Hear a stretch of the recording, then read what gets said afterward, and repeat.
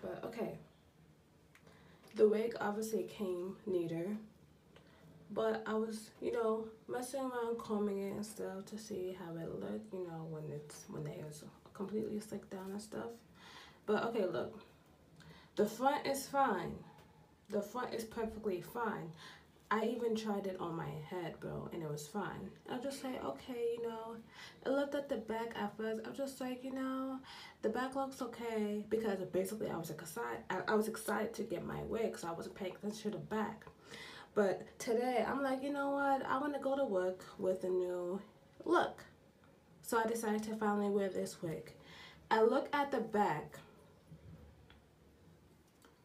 Look what's going on?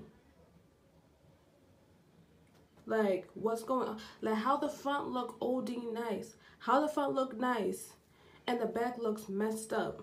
No, I did not do this.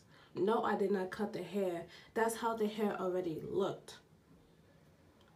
And when I saw other people, you know, on Amazon and in the review comments or whatever post their stuff saying how the back was cut up and stuff I didn't want to believe them because I've seen most of the reviews were like good. So I decided to order it or whatever. How you charging people OD money?